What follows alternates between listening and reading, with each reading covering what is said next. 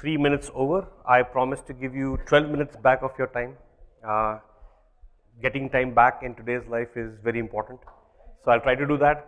Uh, just so that I get to know the audience a bit, how many people are product managers here? Quite a few. Uh, who are designers here? Quite a few. Uh, so that, that's a good mix. Uh, more tilted towards product managers than designers. So uh, I'll keep that in mind. Okay, so here we go.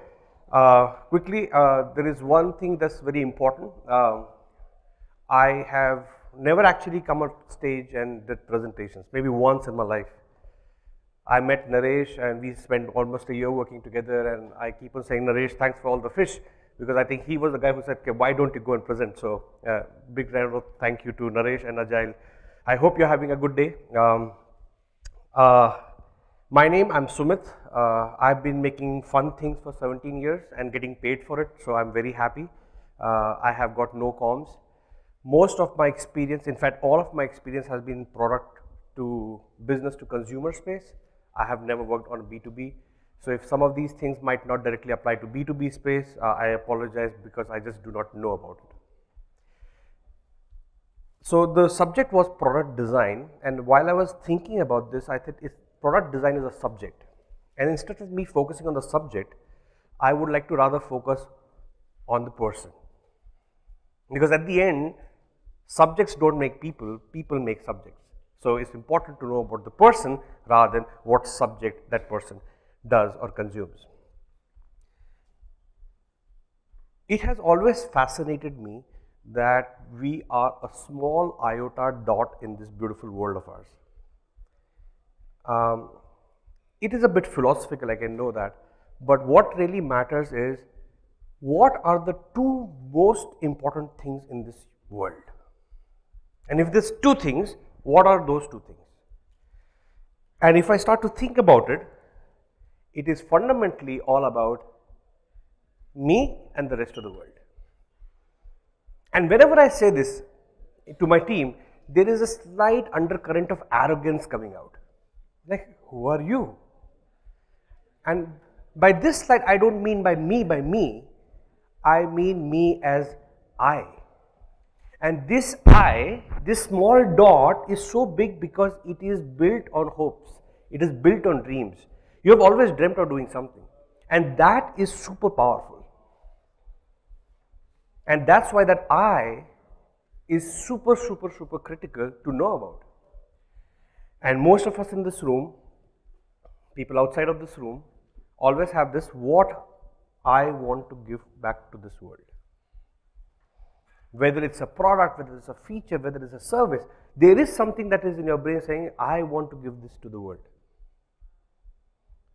Now, all this is good, but the biggest problem is uh, does the world want what you want to give to the world, right? That's where the problem. Well, I want to give comic books. Well, nobody wants to read comics. Well, I want to do X, and people don't want X. And there lies the conflict between you and the world. So, what do we do? We have some dreams. We take the dreams, create some ideas. Those ideas become some blueprints then we hire a team, we build something, we test something. And after doing all this, we say, okay, it's time to now launch our product. In my vocabulary, there's nothing as launching a product. It's all about landing a product. And landing a product is this. You will face absolute insane amount of friction and drag from this world everything that you will do, it will light up. You know what's that burning? That's your VC money burning because that's what VCs do. VCs give you the shield so that you can at the end land yourself and your idea intact on this planet. That's what happens. What I am doing is I am presenting my thoughts are actually entering your brain just like this. You, you have doubts and my thoughts are entering your brain and say this friction and the entire job is how to remove drag, how to remove that friction, how to land intact. Unfortunately, 99.9% of times, this is what is left of your idea when it touches earth. That is unfortunate. Like everything is blown apart, kuch nahi hua, like it's over, thank you. Of course, there can be tons and tons of money blown and money earned and all that thing can happen, but the entire concept was that idea reaching to the world and that rarely happens. So what you're going to do is remain, so that's the context of my presentation. And what you're going to do is spend next 20, 25 minutes about dissecting these two critical pieces. What is I and how I lands to the world and world wants it. So let's talk about the I part first. I have met only two types of people in this world, creators. I'm not talking about just general people, people who want to create. The first one is the romantic. They're the I feel types. And the second one is the classical, I know types. These are the only two people, right? And of course, we can call them product managers and product designers or designers, so what? But that's the representation of these people right. Now, depending on which side of the world you are, you will be judging on is this the good side or the dark side, right. the designer is primarily all about imagination. It's, it's a lot about creativity, it's inspirational. These people always will favor feel to fact they are not governed by laws. On the other hand, the product manager, the classical type, has an unemotional way of looking at things. It is all about finding order in chaos. It is about finding the unknown and converting into knowns. It is about measuring. And these are just two types and of course they use different tools, right? Have you seen product managers talk about numbers all day long? And have you heard designers talk about flows all day long? Now, Excel sheet versus Photoshop, right? They have got different tools to operate and they have got different ways to communicate and they talk about different measures of success and they test differently. But at the end of the day, it does not really matter what is right, what is, what is wrong. What really matters is these people are trying to use these tools, these methods to remove drag, to remove friction so that you can start to mold that idea into a shape and form as what we know as will it be a product market fit? Have you heard that term before? That's what it means. So, I, I used to work for Zynga, good five, six, five and a half years I worked for Zynga. And for people who know Zynga is a gaming company, uh, it was perhaps notoriously known for product management. Like everything was a number. We used to do product reviews, uh, uh, 40 slides, there's not even a single text. Everything is numbers, right? And it's a gaming company. Now I have worked for Microsoft, and this is long back and there was absolutely no numbers, right?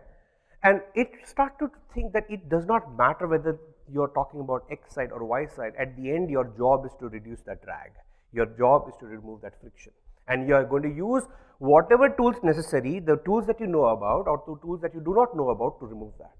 And if you have this simple idea in your head that there is nothing as a product manager and there is nothing as a designer, Everybody is about I, having a dream and trying to remove this friction. So keep these two in your thought. We will revisit these two after we start to also explore what is the world wants. So this is all about me and I, but there's also a big entity as we call as DAUs, MAUs, acquisitions, users, who are they? That, that's the world. So if you want to really start thinking about breaking this world, uh, the real way to define is want. And we have to really decipher what is want. Right? And want is fundamentally a combination of two things. There is a need component and then there is a desire component. So what is a need component? Right? And it was very unknown. I, I, I have not done any of this on myself right? This is just thanks to google Uh, you just keep on surfing, you just keep on finding, you just keep on exploring, you keep on implementing. And at some point, you start to understand, well, this starts to make sense. So, the person that made the most sense was Dr. Reiss. Dr. Reiss said there are only 16 needs humans have. And these are physiological needs. As we descended from apes to become Homo sapiens, we had these 16 needs. These needs are listed on the screen. Any product, anything that you are doing or ever done has to solve for one or more than one of these needs. If Raymonds were making nice clothing, and still is, it was perhaps for status. If you are desperately opening Facebook to see how many likes you have, it is about status. So, if I say Raymonds and Facebook status update are the same product, would you believe me? They are solving for the same need of human. And it is very important to understand what is that need that my product or my service or my idea is trying to solve. Now, if you want to, to look at the desire part, the desire part is uh, slightly harder to understand because you know humans are very there's a lot of subjectivity when it comes to what is desire. So, to understand desire, what we'll do is we'll go a couple of hundred years back, right? And just please bear with me. This is like a bit tangential, but just hold on to the horses. Don't let your mind run, okay? We want to talk about how economies evolved over centuries. At some point, it was only a commodities economy there was just no concept of a good. Like there was no like basmati rice or jeera rice. It was rice and there was coal and then there was milk or whatever else was a commodity and that's it.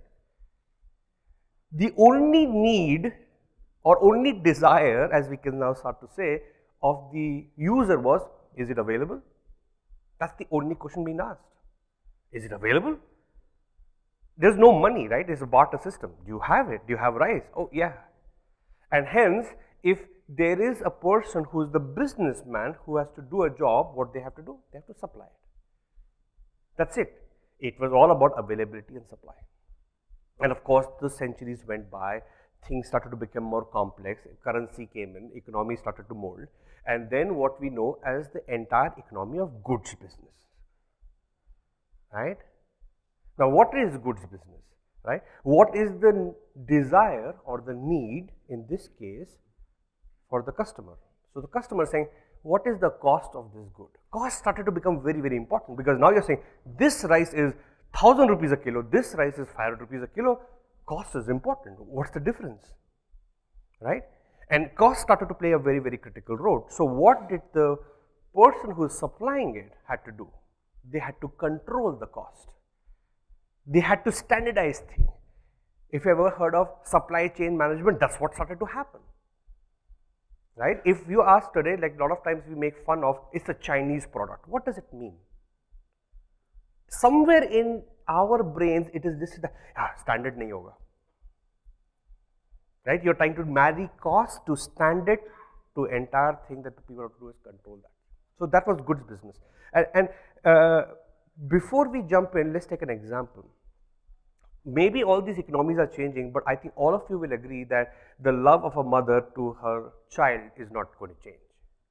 So, if it was 300 years ago and it was your daughter's or your son's birthday and you had to make him or her a cake, you'll get flour, you'll get sugar, you'll get milk, you'll get eggs, and you will spend all your time trying to do what? Make the cake. Now the world changed. It became goods business. Now what do we do in goods business? We go to our shopping and we see there are 20 different cake mixes and we pick up one of those cake mix and now we make a cake. Then what was the next step that was in the evolution and it was called the services business. Now let me just play around with the cake example here. Now what do we do? We just go to Just Bake and buy a cake.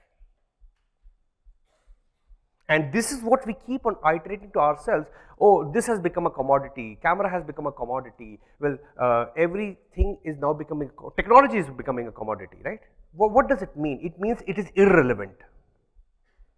It does not matter. It is just like, yeah, whatever. Your brain does not compute it, it is, is given. What else do you have?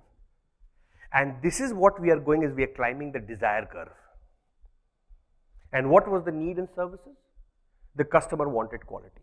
Have you ever got your house vacuum cleaned or dry cleaned or carpet cleaned? Yes? What is the first thing that you ask? Quality acha hai ki nahi hai? That's the only question you ask because without like why are you going to pay for the service? So it is all about quality and the supplier is non-stop thinking about how do I improve my quality? How do I improve my quality? That's the non-stop thinking that you're doing. And India did an amazing job in the service industry, right? Now what becomes important in this model? If you give some level of customization, what happens? Immediately you feel happy about it. So this is what it is evolving slowly and steadily under our feet and we just do not get to know it. Now hold to your horses of what I believe is the new economy which is already working under our feet and we do not know about it. So what I say is welcome to experience economy. What is experience economy? Experience economy is where your customer is looking for authenticity. You cannot copy paste an experience. You can copy paste anything, you cannot copy paste an experience. That's not happening because there is authenticity required there. And what is the job of the supplier? They have to render, they have to stage, they have to craft that authentic experience. Just think about this for a second. 100 years ago, 80 years ago, whatever time the movies came out, you actually had to pay money upfront to go and watch a movie. Why? Because you're going in for an experience. You want to go into a theater, you have to pay money upfront to watch the theater show. Why? You're going there for an experience.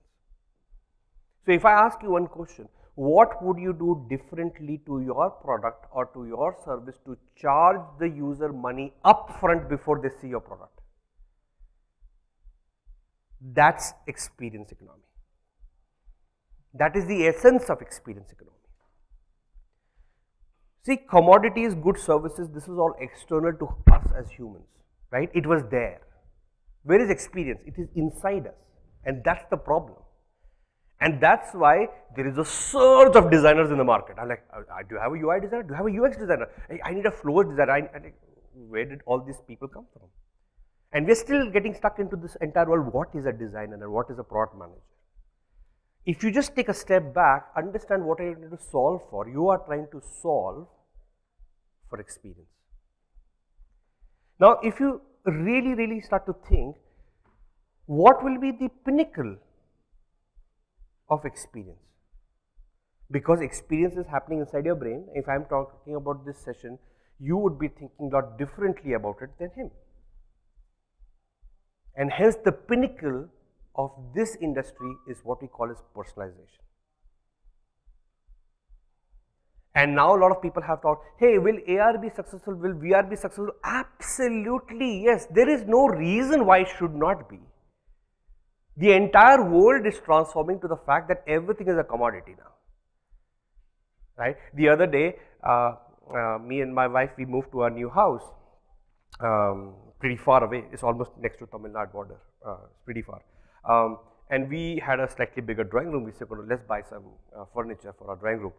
So we said, okay, let's do this. Let's download the three top most uh, e-commerce related, you know, furniture shops. So Urban Ladder and, you know, Pepper Fry, we got all this. And I wanted to experience it. And I started to go and browse. They're all selling the same thing, right? Yeah, there is price here, there's price there. You cannot hardly make out what color it is. God knows what's going to happen. So you're like, yeah, whatever. Let's go. If you get a good deal, we are good. Who's going to win? And we keep on getting stuck at the fact of जिसका supply अच्छा है वो जीतेगा जो on time deliver करेगा वो जीतेगा guys that's for given if you are fighting that battle that's the wrong battle to fight. That's for given. If you do not have that, you should not be in this business. Your service, your delivery, on time, these are just given. Now people are wanting more. What is the experience do I get? And I'll tell you the difference between Urban Ladder and Pepperfry. both delivered, some two days late, some two days on time, whatever. Everybody from Urban Ladder who knocked at my door says, Good morning, sir, how are you? I'm like, Fine, thank you. Sir, we have got your delivery. Before I bring it inside, this is what you had ordered? Yeah. Where would you like to place it? My mind was blown by this person, even if he is faking it. He is making sense to my head and he is delivering me an experience. Not only they put all the furniture, they took out all the garbage. When I thought that would like to have a glass of water, they said, no, thank you. We need to run. We have another service to deliver. If we are not going to deliver to that person, it's not going to happen. And that made me, holy shit, five stars. Here, take it. Then my wife says, there is a small scratch. I said, fuck it. Who cares? It does not matter. Table can have scratches. My experience can't have scratches. So, at the end of the day, what is the entire essence of what I am trying to present? There are two ways in which you apply yourself, the skills that you have learned, the tools that you use, and the only job is to remove that drag and friction. The only two things that you have to deliver to remove that drag, you must solve for a need. It's a given. In my previous example, on time delivery is now a need. It is no longer a desire quotient. And the last one is you have to fulfill the desire. So, make it classical, make it emotional, make it solve for a need, and then make it memorable. And guys and girls, this is what I think is a product designer.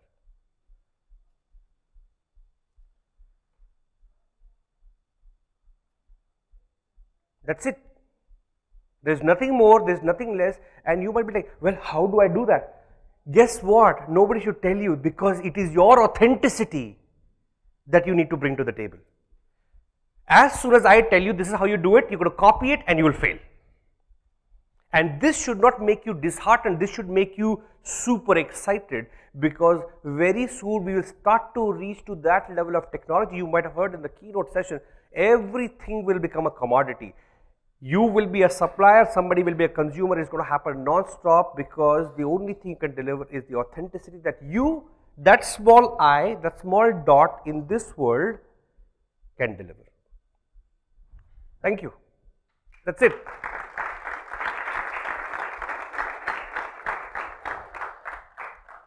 So we have got good amount of 14 to 15 minutes for questions and that's what the intent. And you know most of the meetings that I know Naresh kept on telling me that uh, it's very hard to get the team going to ask questions. And I said, well, this time we're going to try differently. Okay, uh, and uh, the the bad choice will be everybody starts from the left, start asking questions. That's a bad one but let's go and do some Q&A, right? Ask anything that you think that you have in your mind. Just go for it because there is nothing because you're authentic, you have an idea. Sas? Okay, go for it.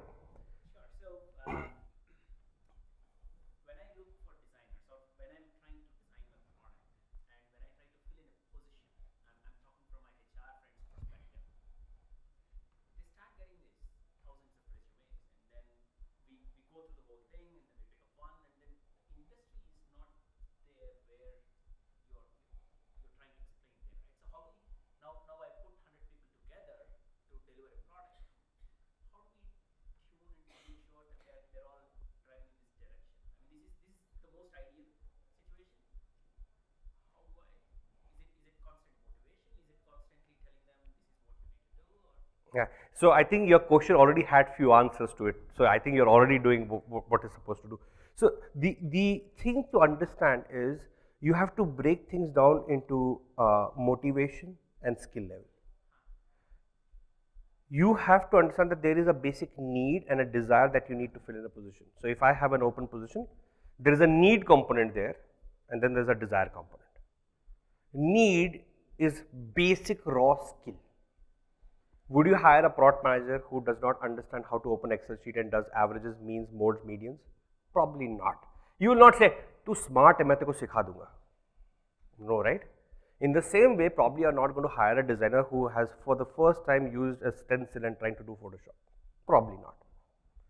So what are you looking for? You are looking for core hard skills and it does not matter experience because in fact in our world today as soon as designer gets experience they become worse so you need to catch them super early. Right? You go to these colleges and remoter the college the better the college because more authenticity lies not corrupted by all these non-stop uh, instagrams right?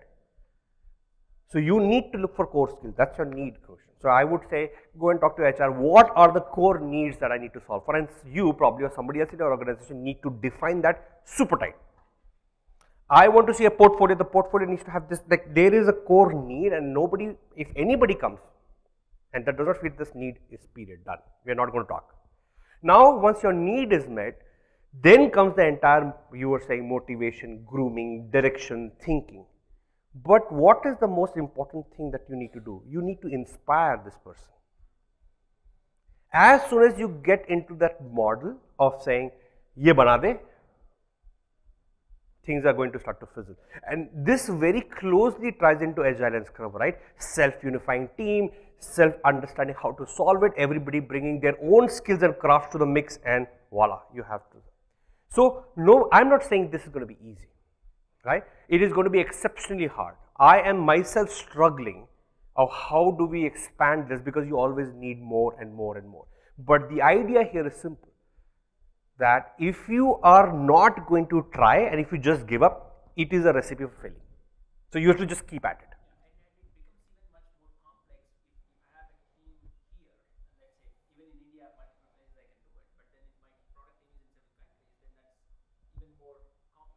Absolutely, yes. And then the entire example that I gave you that you have an idea, you're going to land it to the earth, I think your problem right now is not earth, your team only. Right? Your idea needs is getting all this drag and friction just to land it in the team. So you have to just think, how am I going to report the drag? Okay, do I need to get these people here? If you say, I've got say a $200,000 marketing spend, spend $50,000 getting everybody from each country to India or to any other place and make them sit for two weeks. That's a better money spent. Why? Because you're removing the drag. So you have to optimize all the time of that landing and this happens multiple times, right? If you're going to even go and talk to this to a co-founder, there is drag. This presentation is a drag to you because my ideas are not getting inside, right? So that's the entire essence that you're trying to do all the time. Yes, please.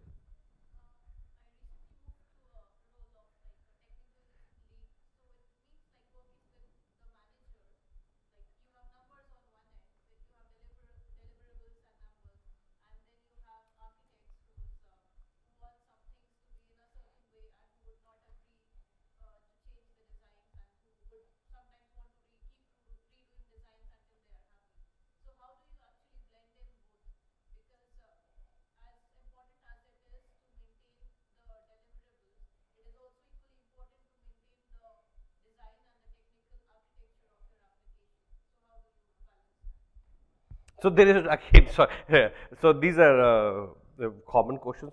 Everybody has this problem. There is no magic solution.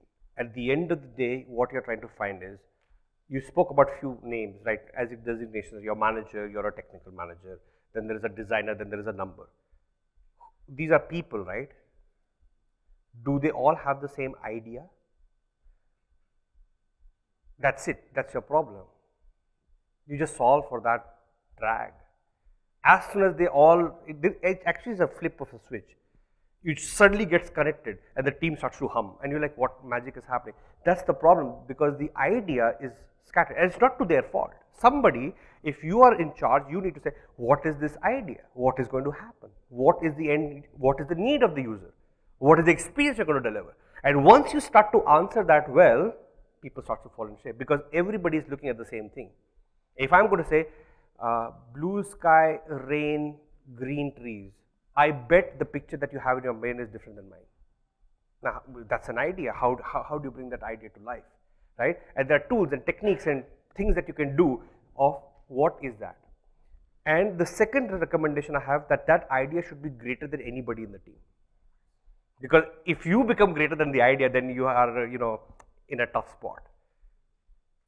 So my recommendation would be to just go back to your team members say, guys, do we have a common idea of what we are delivering?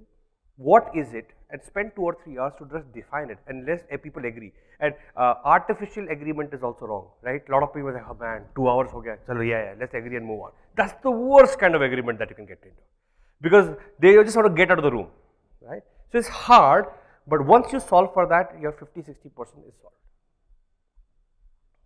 Naresh.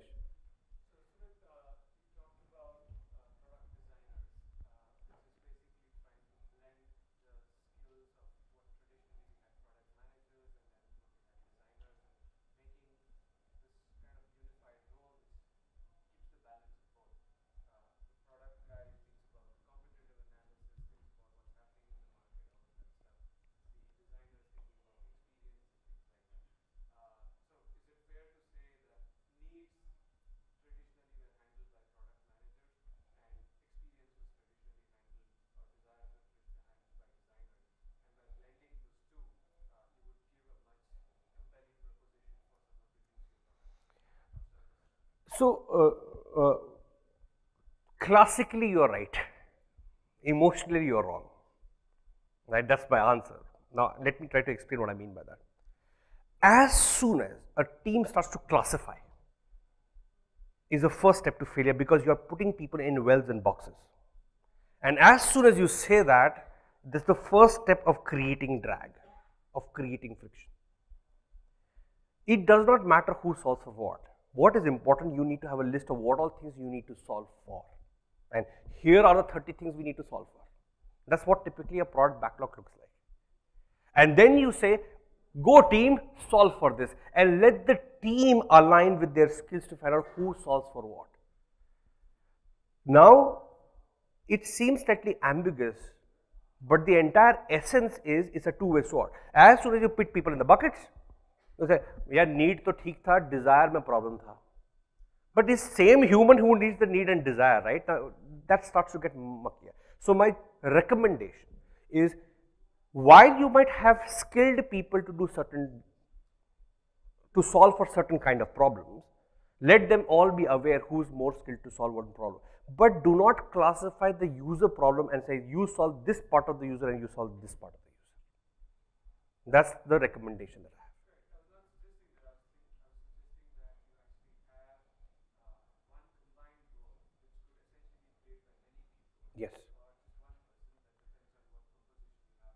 Absolutely.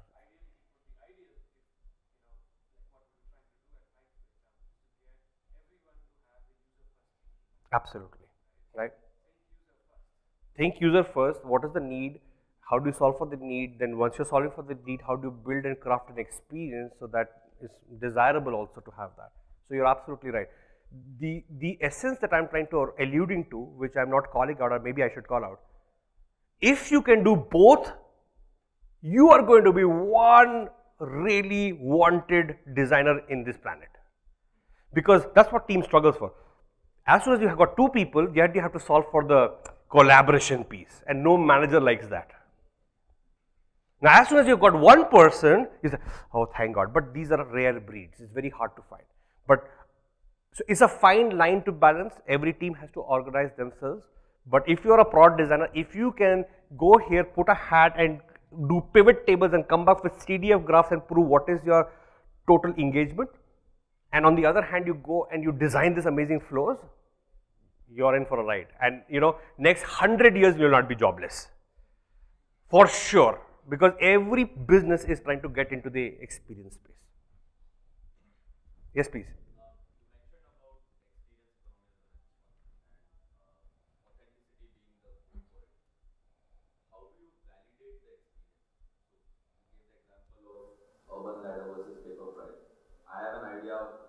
my experience, my view of what the experience would make a difference to the world. Uh, second thing is the team should also believe in the experience, that that's the right experience. And third part is validating that experience and whether the customer is going to actually find the experience. Challenge with this easy part of the services is the services are measurable. Experience for you and experience for me is different. So So how do you identify that 70% of the people would be happy with this experience? Good, great question. So there's a very simple answer, but you're not going to like that answer. Okay, so disclaimer up front. Uh, your experience has reached its desired state if people are willing to pay for it. That's the measure. Even the poorest will be willing to pay if you render them a good experience. So if I had to do that, I'm actually going to get, say, I have this idea, right? And I'm going to do some mocks and some flows and get it to that small level of finish, as I call it, right? If I have to take a pizza example, don't bake the entire pizza, but make a slice, but just don't ship the slice. Don't just put slice and cheese and ship it. Make the entire slice of pizza. Put all mushrooms and you know everything because that has to be a good slice. But you don't need to code it up. So you take that idea and you take it to the usability lab, right? You get 20, 30 of your target customers that you're looking for and you make them experience that, right? And then you ask a simple question, are you going to pay one rupee for it? Just ask one rupee. You don't because you say, I have not yet decided what's the cost of this. Trust me, if they don't like the experience, they will not even say one rupee dunga. Kyu dunga? Right, it's my money. So that is one very good way of validating are you delivering experiences. And again guys, I am not saying that each one of us should be right now thinking about experience. Maybe many of you or in your companies are still trying to solve for the services or the goods or still that stage. But at some point you're going to mature on this. It is happening. So it's not a question of whether or not, it is a question of when and how. Now, if you try to build experience before you have to solve for your needs, then you are in this soup, right? Experience was assuming, but you know, kuch many like those special effects movies that you see. Holy shit, this was amazing, but movie kya thi? That's the problem you're going to face. So try asking for that money, one rupee. See if that works. And then up the ladder. Acha, 5 rupee.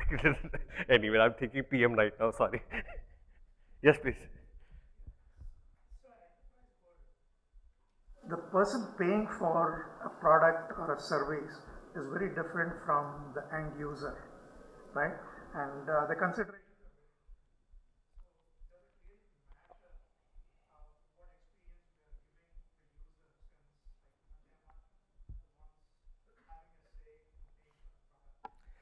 So, uh, I started this session by saying that I have never worked in a B2B setup in my life. So, most of these things that I'm going to say might not be even relevant and I think that's what you are asking. Um, but I still try to take a stab, right, because at least I have got few relatives who are in B2B business. I think at that it is mostly about cost, quality, serviceability, customization, basically in the first three eras of economies. But I still feel there is an experience that would be happening when you and your team would be going and meeting them and pitching your ideas and convincing them why you're right and um, you know probably hanging out with them. It is very subtle, but most of the times it is very easy to see through that you do not have authenticity. It is very easy to see through क्या बोल रहा है यार ये तो कोई भी देता है there is something additional that you can still apply, but not in the shape of technology, not in the shape of art or design, but in how you communicate, how do you partner, because at the end you are not dealing with an enterprise, you are still dealing with a human who is in charge of that enterprise at that moment in time. So, there will be subtlety there. Now, I am not sure how critical it may be, maybe it is not, everything is boils down to hard cost. I am not fairly experienced or qualified to call that out.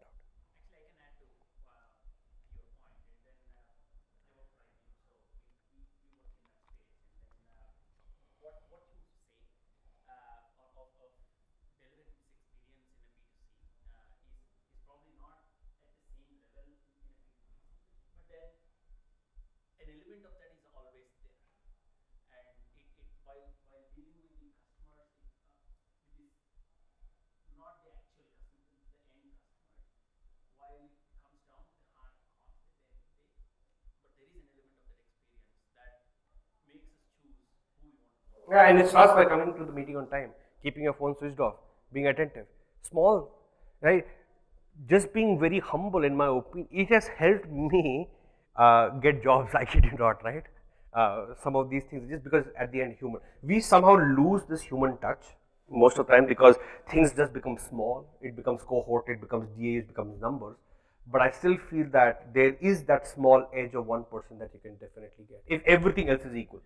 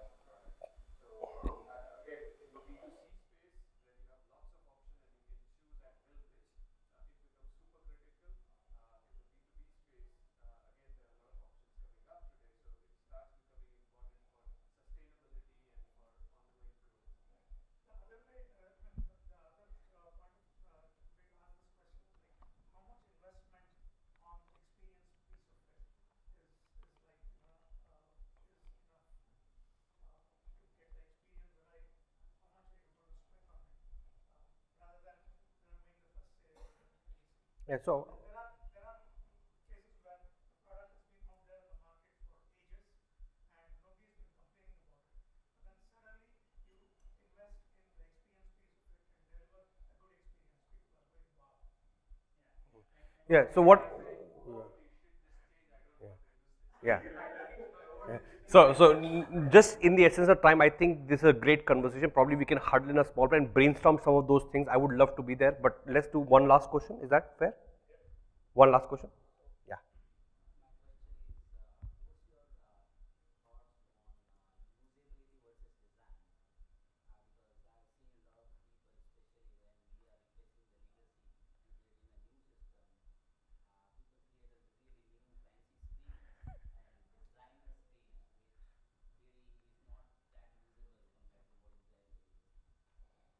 Yeah. So I think the answer is fairly straightforward. Don't do that. Like, please, like, don't burn money. I have personally been in every company, including mine, have faced this problem. So it's not about people, it's not about companies. It is just that designer type. Did you see Luke Skywalker in the white dress? That's the problem with that type, right? And that problem is at the end, what is the need that you're trying to solve? And once you understand that need, even a single line, even a wireframe diagram can be presented to the user and the user will say, I get what is doing.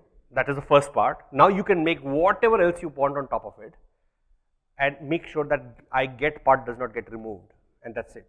So, um, it is probably training your team, uh, getting into the lab as early as possible, right? Do not fear, yaar abhi ready nahi hai, if I'm going to show now, people might not like it. That's your recipe of failing, right? You need to get it inside the lab as early as possible, as early as possible, and it's fine. Even if five people says I don't like it and five people say I like it, that's good job. Keep on pushing, keep on pushing. In a usability lab, you need to come out by saying nine out of ten say awesome, right? I think usability lab can determine your NPS score. Anything below 8, 9, 10, don't, don't build it. Yes, sir.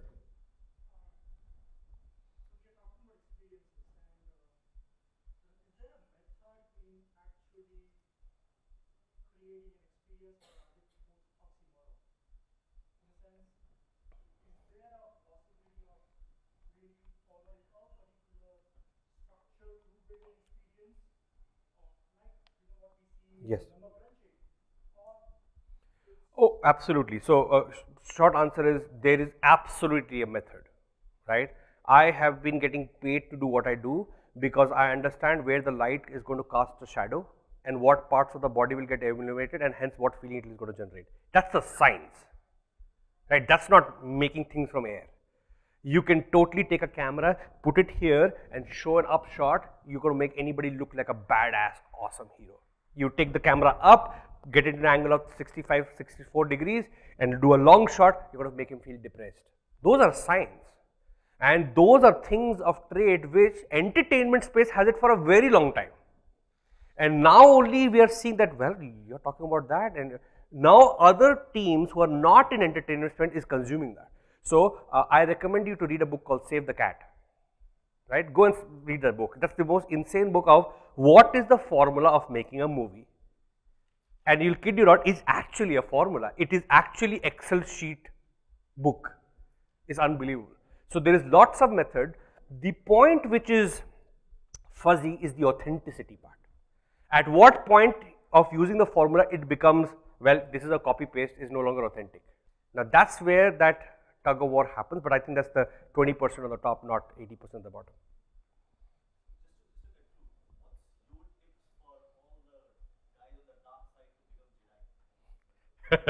yeah. So, yeah. So first of all, uh, I would just rephrase it. There is no dark side. There is just a side, and that's just the dream of that person. Uh, right? Dark. We, we have actually blacklisted. Pro- I have been blacklisted in the market. Uh, yeah, green button थोड़ा ज़्यादा green कर दे ज़्यादा click through आता है, right? So basically, make the green button slightly more greener because you can get more CTAs on top of it. So my recommendation is simple, right?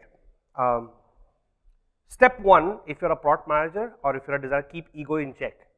You are not greater than the customer at any cost ever in this life. Step one is the hardest one. If you get this right, everything has become simple. Step two, always seek for help. Always seek for help. And help from your colleague or help from the customer or just by help means usability lab is a help, right? You're seeking help. What does help do? Help is going to remove that drag and friction all the time right? As soon as your designer says, I want to be working from home because I want to sit in a corner and come up with the idea, no, no, no, no, no, no, please don't do that. You can finish your work there because you need quietness. But if you're sitting in a well and thinking about all this, probably it's not the right decision. And the third thing, please, please invest in youngsters, please invest in youth. People like me are getting very quickly outdated. If you invest in me, you'll only get gyan. If you invest in a youth, you're going to get work. So that's the difference. That's the third one. Okay, thank you.